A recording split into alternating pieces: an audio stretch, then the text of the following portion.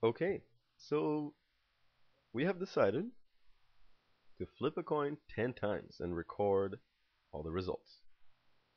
Now, we want to find out the probability that we're going to get exactly 4 tails from the 10 coin flips. Okay, so let's use our formula, starting with n choose k right here. What is n in this case? Well, we're flipping the coin 10 times. So 10 trials, right? And k is the number of successes, which would, well, su a success in this case would be just getting tails. So we have four successes in this case. And we're multiplying that by p, the probability of a success, which is half the coin. The coin is unbiased, basically, to the power of 4 times 1 minus p, which is 0.5, to the power of 10 minus 4, which is n minus k. 10 choose 4 is 210. 1 minus 0.5 is 0.5. 10 minus 4 is 6. If we just work this out, we're going to have 20.5% or 0.205, which is equivalent to 20.5%. And that is then the probability of getting exactly 4 tails from 10 coin flips. Alright, question B. What is the probability of getting 4 or 5 tails? Okay, so that's actually going to be the probability of getting exactly 4 tails plus the probability of getting exactly 5 tails. This one, we already know it's 20.5%. 20.5% probability of getting exactly 4 tails. But let's calculate this, the probability of getting 5 tails.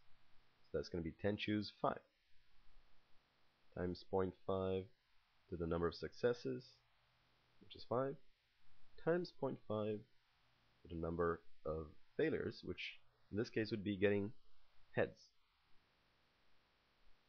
This whole thing is going to work out to be 24.6%. You can check it out on your calculator. And by adding them, we're going to have 45.12% probability of getting exactly 4 or 5 tails. Sorry, my voice just cracked. And finally, question C. What is the probability of obtaining 4, 5, or 6 tails after flipping the coin 10 times? Okay, so we already have P4 and P5. 4 tails and 5 tails. This is just going to be the probability of getting 4 tails plus the probability of getting 5 tails. Finally, the probability of getting 6 tails. This is the only one that we really don't know. Let's calculate that. And uh, I need to make some room for this.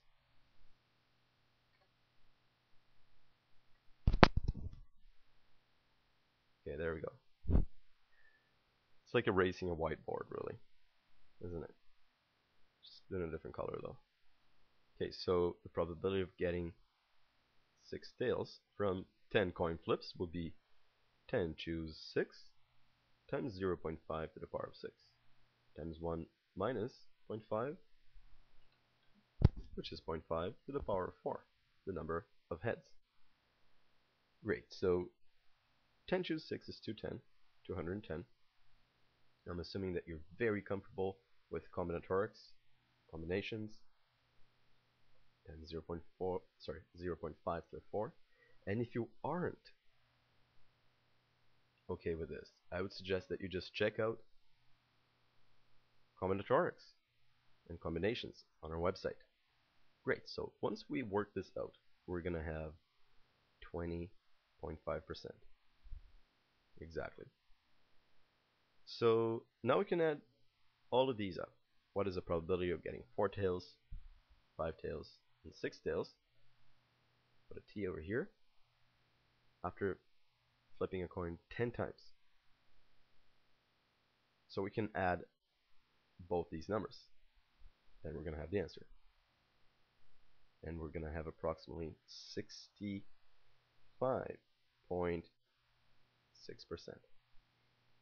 So that is the probability of getting four tails, five tails, or six tails by flipping a coin 10 times. That's it.